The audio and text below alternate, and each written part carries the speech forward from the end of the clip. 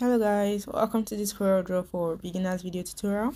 I previously created a CorelDRAW X3 tutorial for those that are any prior experience with CorelDRAW because I think it's better and easier to start with another version of a program so we don't get lost. But if you're starting off with CorelDRAW 2020, you have nothing to worry about. I'll make this video very detailed. And if you're new here, my name is Faith Abbey and I do a lot of CorelDRAW tutorials as well as other programs. So be sure to subscribe so you don't miss out on anything.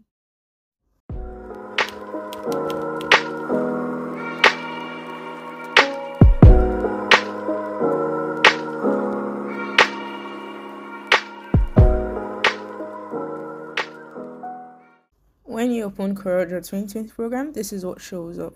Over here is where you create a new document by clicking on it. And this box appears where you can adjust your document settings like the orientation and page size.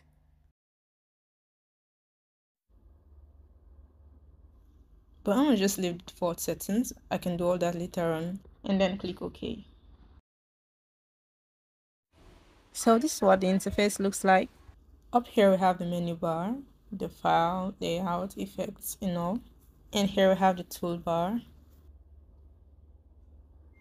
Here we have the property bar. It changes to display the most common functions specific to the active tool. And here we have the toolbox where we have all the tools for drawing and editing images. Down here is the document navigator where you can create a new page by clicking on this plus sign here. And also you can jump to any page you want over here we have the navigator. This button helps you move around your drawing. Now back to the toolbox. In the toolbox we have the pick tool used to select, resize or skew item.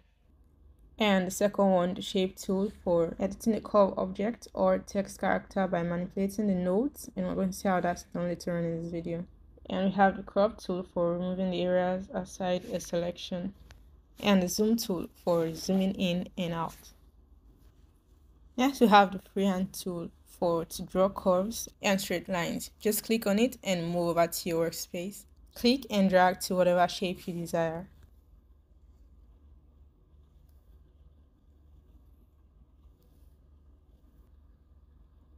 Under the freehand tool, we have the two-point line tool for drawing straight lines. After clicking on the two point line tool, go to your workspace and click and drag. Release it when done. Next, we have the artistic media for artistic brush, spray, and calligraphic effects. So click on it, move to your workspace, and click and drag. And this is it. Up here, you can choose a stroke for drawing lines and curves.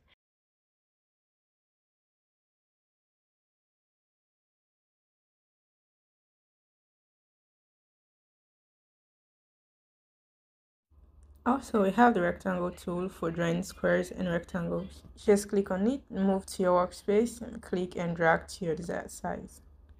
Over here, the color palette, you can apply color to it by clicking on the color you want. Also, we have the ellipse tool for drawing circles. Click on the tool and click and drag on your workspace to your desired size, and you can apply color to it. The polygon tool is for drawing polygons. Click and drag on your workspace also and release when you're done. Now going back to the pick tool we said for selecting and resizing items, you click on the pick tool and select an object, you click on the object. To move an object, click on it and drag to your desired position.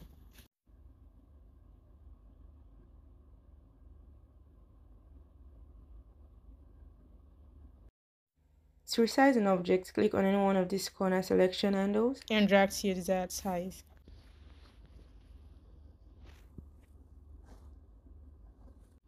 You can use the middle handle also.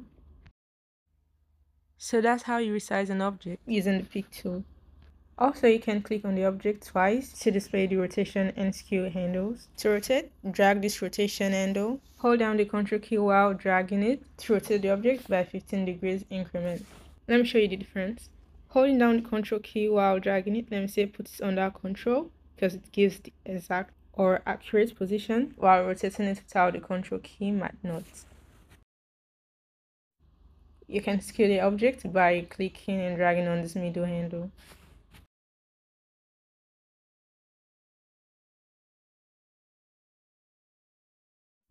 And the shape tool we set for editing a curve object by manipulating the nodes so you click on the shape tool and go over to your object and click on any of the nodes you click and drag to edit it. And it gives a star shape. Also, you can manipulate these nodes too to give these curved edges. So basically the shape tool is for editing the shape of an object by manipulating nodes or segments. You do that by clicking on the node or double clicking on the segment and then drag it to however you want it. Any part between two nodes is called a segment. It can either be a line or a curved segment. So to convert this curved segment to line, you right click on it and select to line. Always go back to the pick tool when you're done using other tools. To use the zoom tool, click on it and select the part you want to magnify. To select, click on any empty space and drag to cover the areas you want selected. And to zoom out, hit F3 or F4 on your keyboard, or you can click up here in your property bar. Next is the text tool that allows you add text. You click on it, move to your workspace, click and start typing.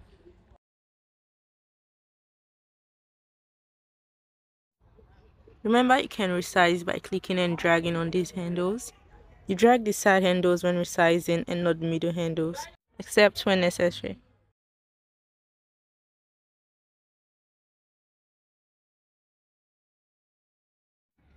Up here in your property bar, you can edit your text, like changing the font and size. You can choose the font you want here and resize it over here.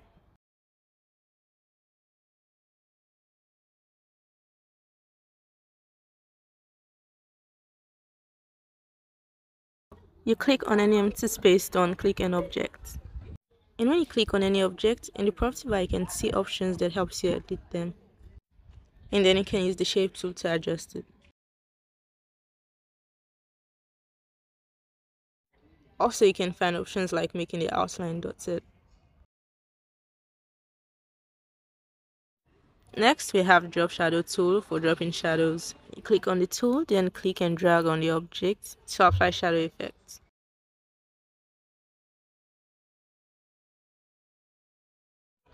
And in your property bar, you can adjust it the way you want it, like making it lighter or darker or changing the color.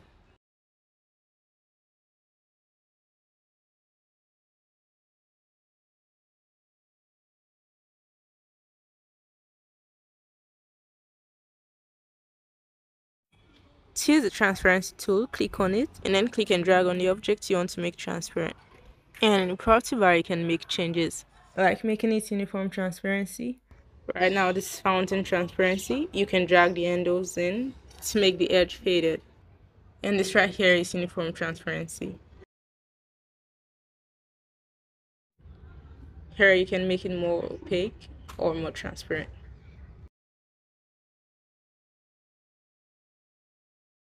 we have the interactive fill tool for adding colors or mixing colors and the eyedropper tool which can sample colors from anywhere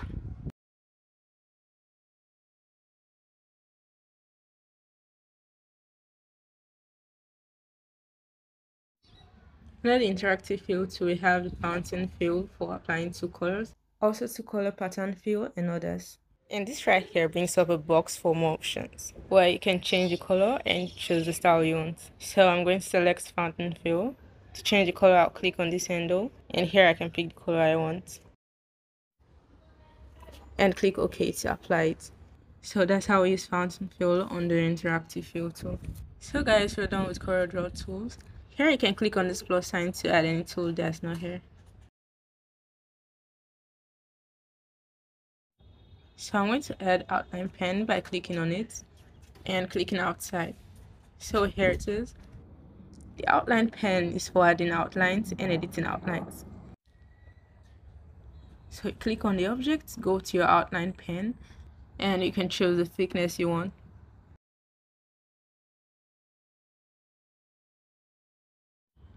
For text also, but for it to be unique, you have to make some adjustments, which we'll look at in our next video. You can also change the color on the outline colors.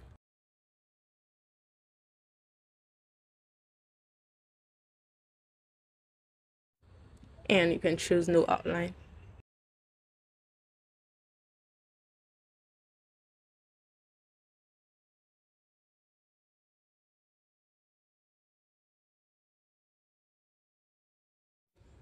So going over to the menu bar, we have file. In our file, we have save for saving your document. To save, click on save and the save as box appears. On the file name, type in the title and then click on save. On the file also we have open to open up any document and also import, export and many others which you can check out yourself. Under edits we have copy, paste, cut. To cut, select the object you want to cut, then go to edit and click cut. And to paste back, you click on paste, which you can do all that using shortcuts.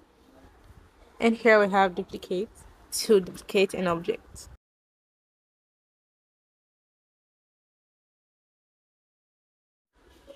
Also, we have the view menu and layout menu for editing your page layout. This go to page helps you jump to any page you want.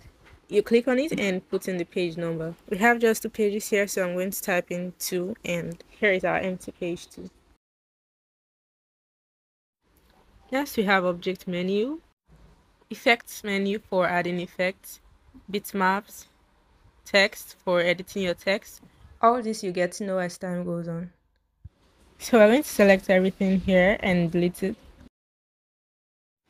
To select everything, click outside and drag so that the box covers everything. After everything is in the box, release it and hit delete on your keyboard. So that's it guys. Last thing we're going to be doing in this video is importing pictures. To import pictures, you can click on import here. Look for the file and then click on import.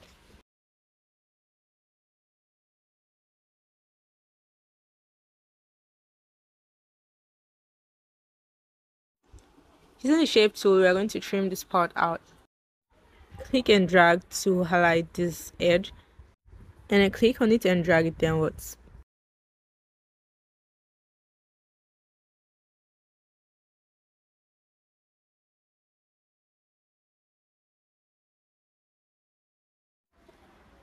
Or we can just undo that and use the crop tool instead to crop out the part we want. Select the parts you want and click crop here. And that's the use of the crop tool. So I'm going to stop here guys. My next video is going to be on designing a flyer. So I'm going to have it linked in the description. You can also check out my other videos on CorelDRAW. And thank you so much for watching. Don't forget to like, comment and subscribe and I'll see you guys in my next one.